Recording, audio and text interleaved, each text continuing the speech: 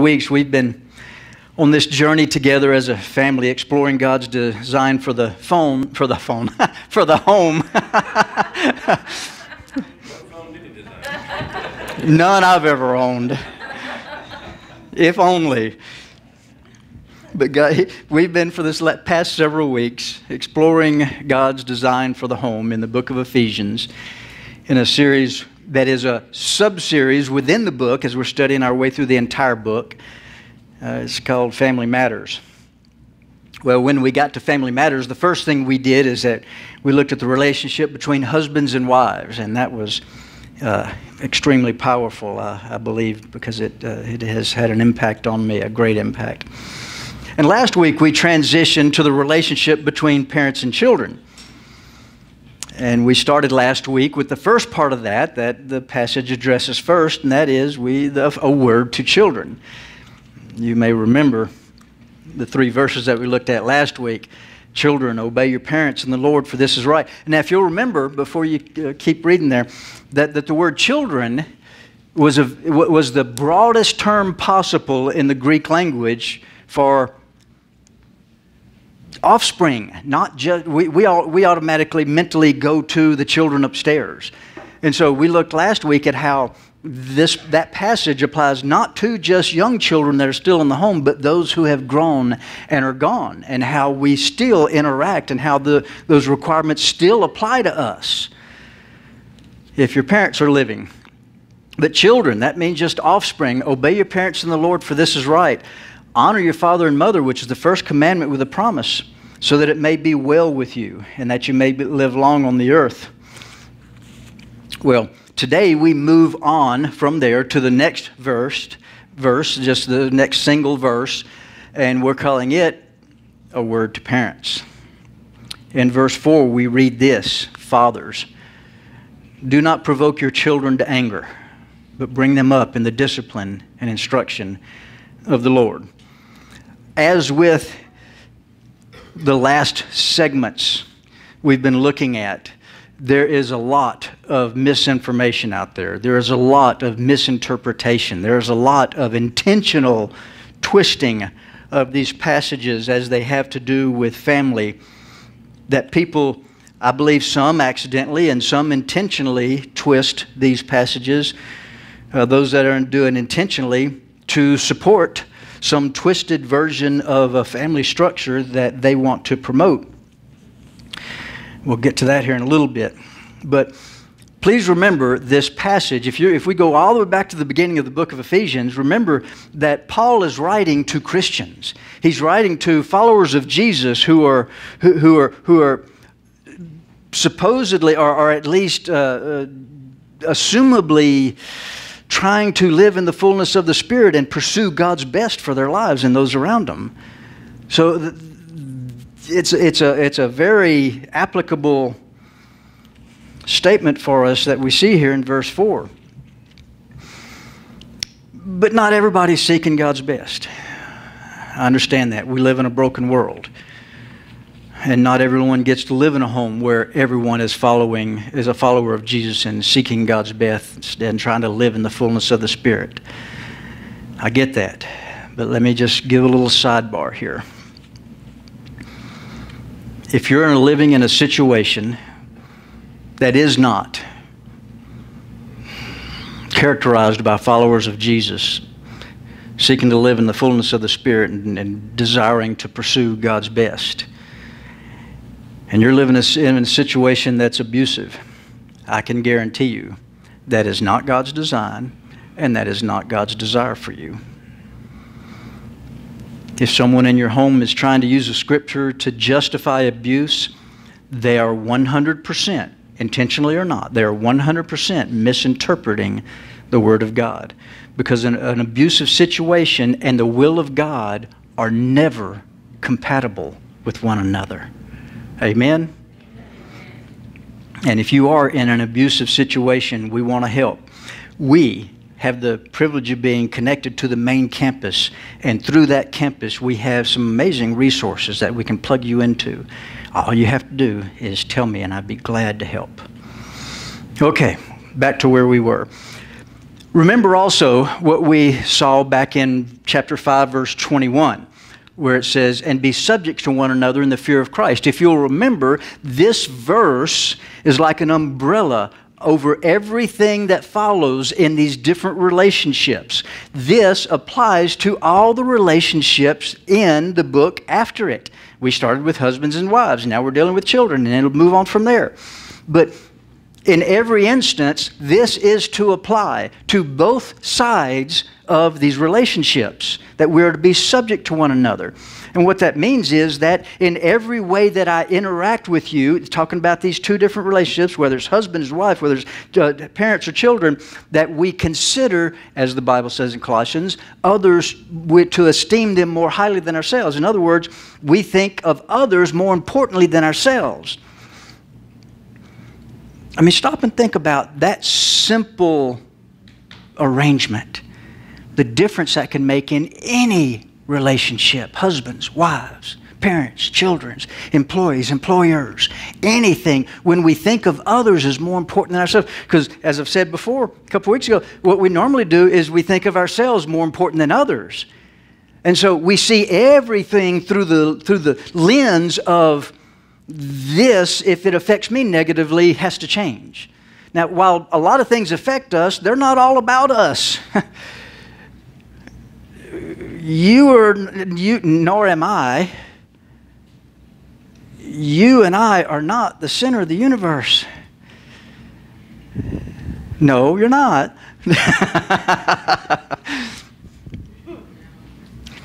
and the Bible tells us so we are to think of others more highly than ourselves. We're to think of others as more important than ourselves.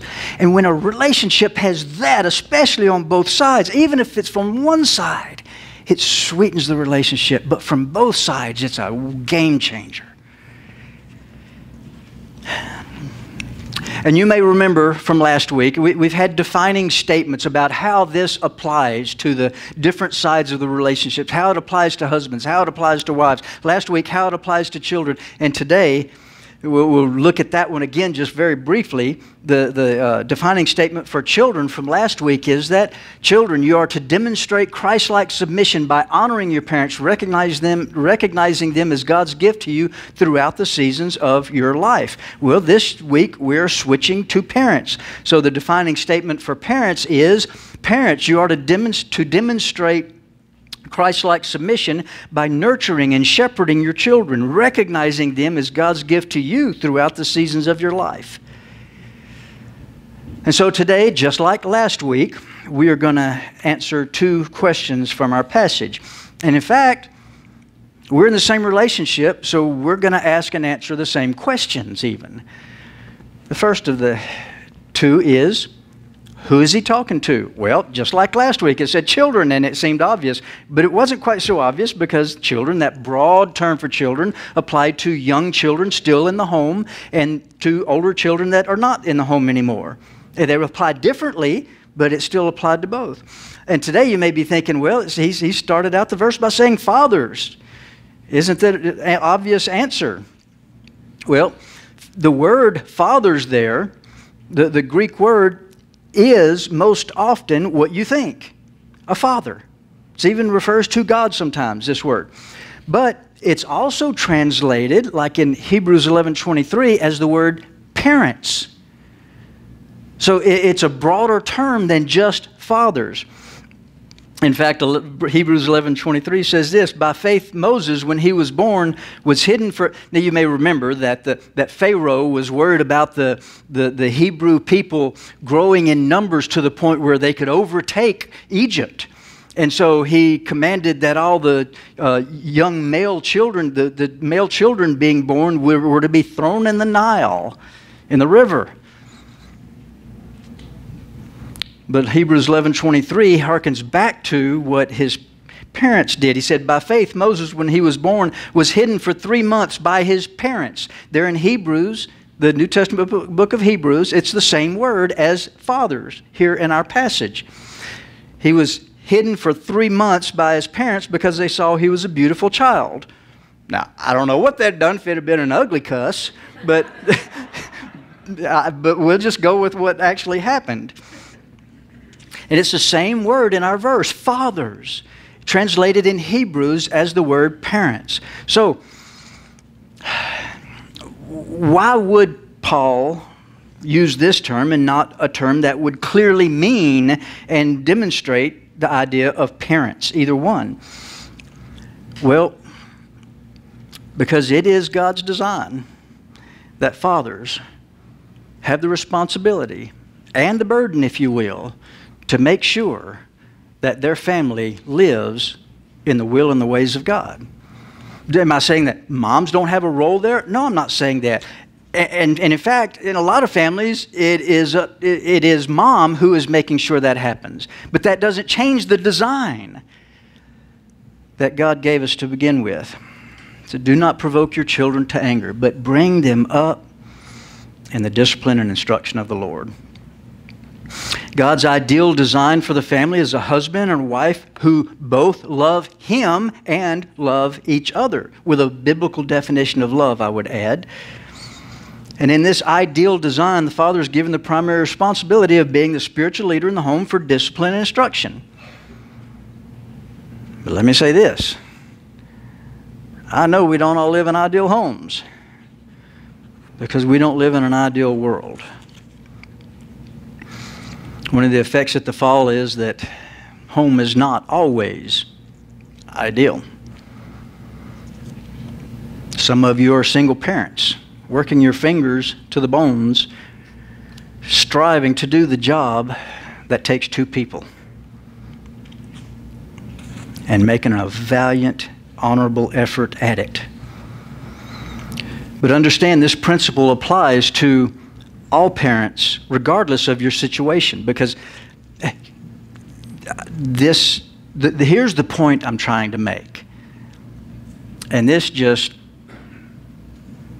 ha, ha, has, an, ha, has quite an impact. God, in His grace, can take your situation. Sometimes we think that these are principles that look good on a shelf. But we think that couldn't apply to me because look at the junk I have to live with. Look at the life I have to live. Look at the stuff I put up with. Look at, look at how unbiblical my life is. So while that's some ideal thing up on a shelf that look looking pretty, it can't apply to me. No, it does apply to us. God is not unaware of the fallenness of this world. God, in His grace, can take your situation and accomplish His purpose in the life of your children if you will honor His plan. God, in His grace, can take your situation, whatever that is, whatever that is, and accomplish His purpose in the life of your children if you will follow His plan. My goodness. Is that not the, the heart cry of every born again parent that God would work in their children His purpose? Wow, I wish I had that my, when I was growing up. I wish my parents had had God's desire and, and God's purpose in my life as I was growing up. Because once again, no other success can compensate for failure in the home man, I wish I'd been raised in the households that some of you are raising your children in. I'm going to try to say this in a way that's not wrong. I envy that. Even at my age, I envy the upbringing that your children are getting that I didn't have. Well, the second question just like last week, what is he saying? Well, Paul starts with a word about what parents should not do. He says, Fathers, parents, do not provoke your children to anger. The, the, the phrase do not literally means don't ever do this. Don't ever do this. And the word provoke to anger means to, to well, obviously to make angry to, uh, and to provoke or to irritate. But there's another word that we use that I think captures the meaning, and that is to exasperate. to, to cause angst in our children where they think things like, I'll never get it right. Or all he does or all she does is criticize. Or he'll never love me. To provoke or to exasperate a child means causing them to think things like that. And I'm get real practical here. Some of the ways that parents sometimes exasperate their children is by overprotection.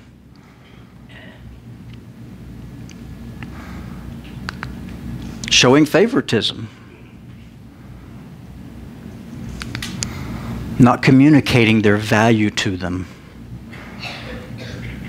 You know, if, you, if those of you who remember, oh, and by the way, Wednesday night, family night, wow. We're averaging 125 Sunday mornings now. We had right at a tad over 100 people in the building Wednesday night for family night. Yeah. And, and, and, part of that was 44 people here for the Laugh Your Way to a Better Marriage seminar. And, and, and so I'm, I'm saying all that to say this. I'm going to harken back to one of the lines that Mark Gungor used, the one that's hosting that seminar, the video portion that we watch. And that is, you know, wives sometimes saying, well, you never tell me you love me. And that, that is a chronic problem from what I understand. And, and um, his illustration was he said, well, I told you that when, I, when we got married. If anything changes, I'll let you know. You know, that's not how it is. And that's not how it is with, with children either.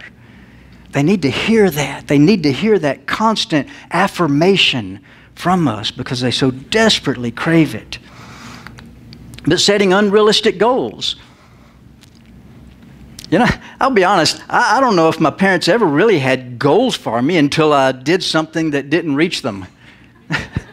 you know, can anybody relate? Failing to show affection. I had three of the, when we get to the bottom of this list, I, I, I had basically four of these growing up.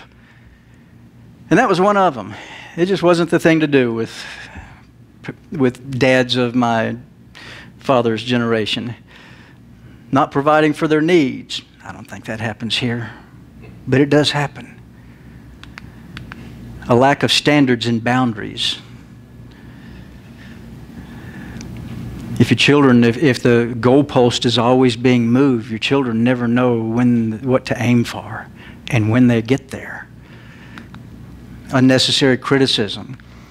You know, sometimes people like to criticize others just because they can when it doesn't serve any constructive purpose when we have conversations with one another, if somebody has a slip of the tongue and you know what they meant, that, but you, you, you, you interject to make sure and correct them because what they meant was not what they said, that doesn't serve any constructive purpose. But it does hurt, it does poison the water of a relationship. Comparing them to others, they're not somebody else. If I've learned one thing being here at this church for the last five years, that I'm no good at being anybody but me. and when I try, it's no good. It just doesn't work. So you, this is all you get. Excessive or inconsistent discipline.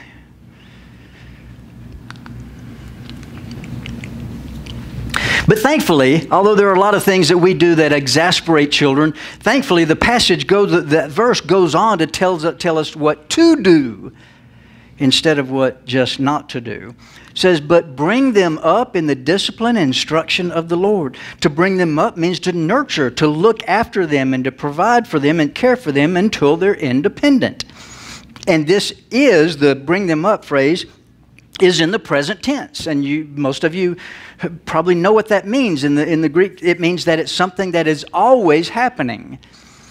It would be like me saying, My name is Don. That's present tense because my name is still Don, even though it's later.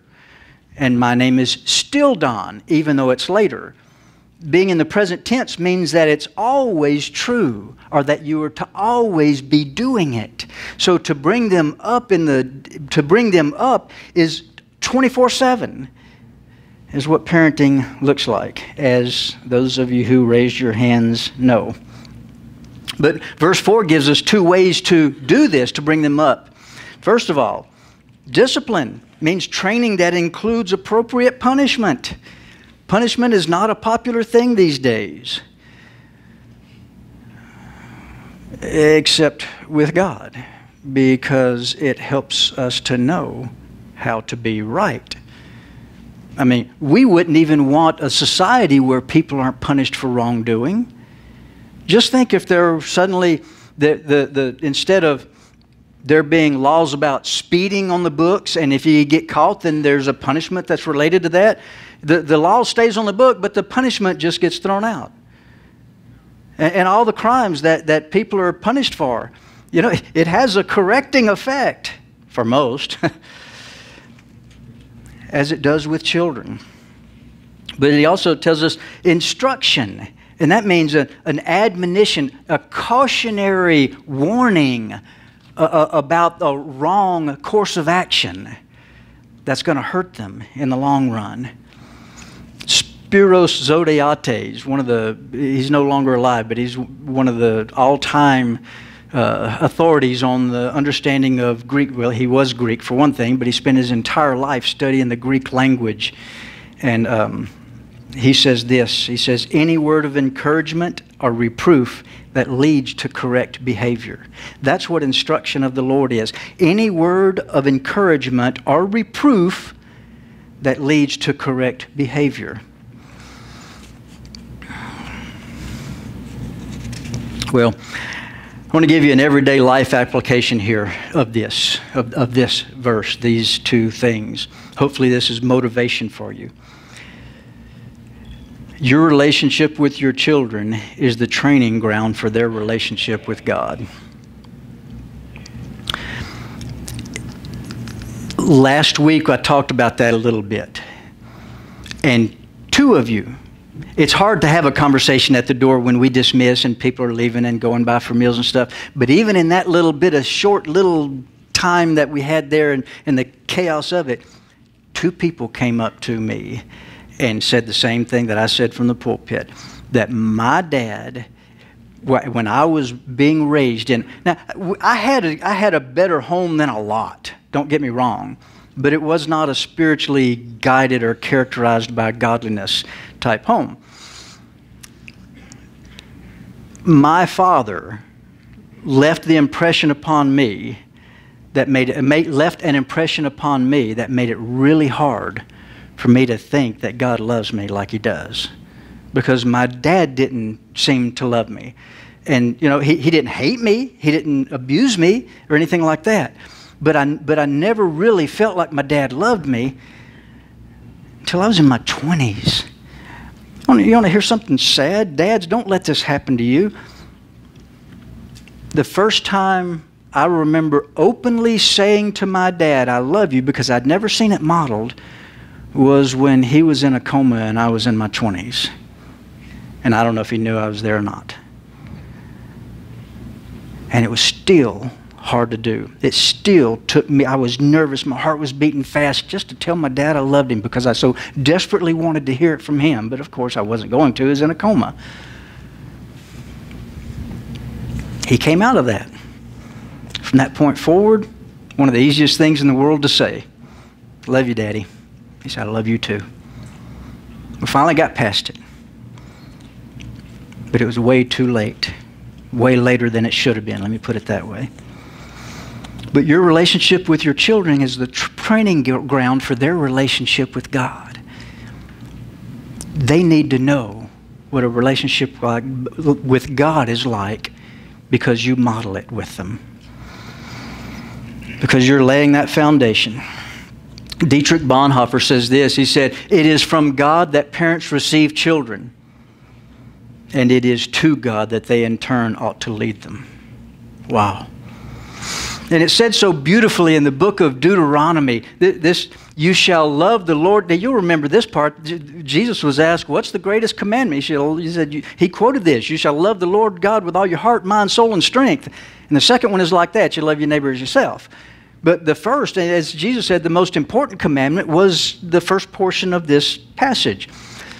He says, You shall love the Lord God with all your with all your heart and with all your soul and with all your might. These words which I am commanding you today shall be on your heart. You shall teach them diligently to your sons, and shall talk of them when you sit in your house, and when you walk by the way, and when you will lie down, and when you rise up.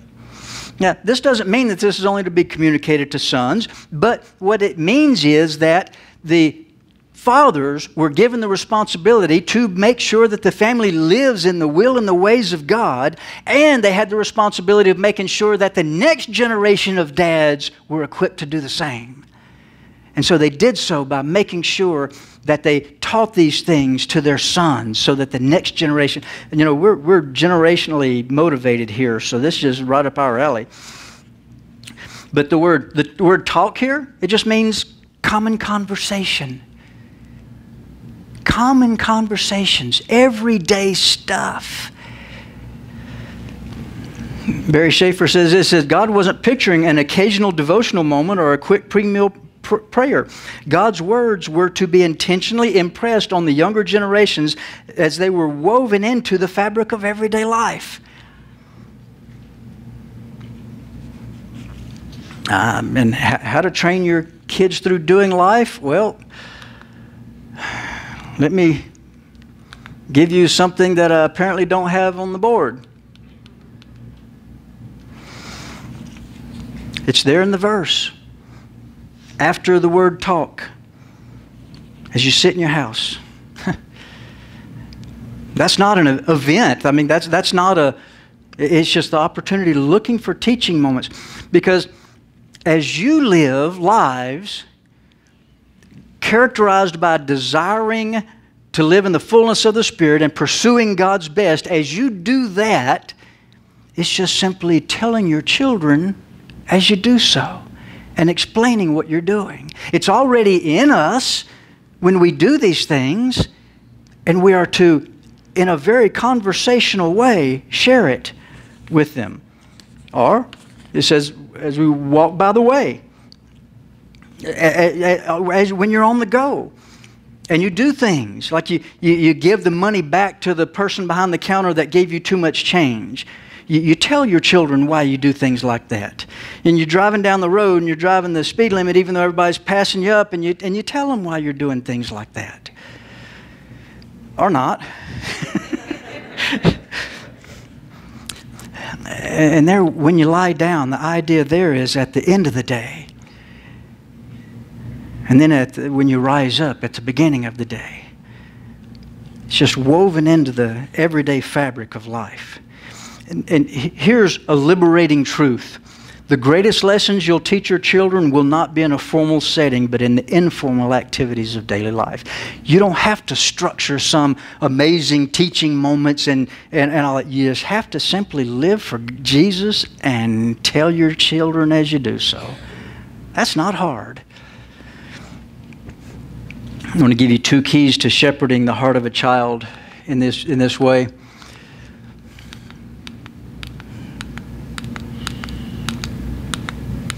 Click, click, click, click.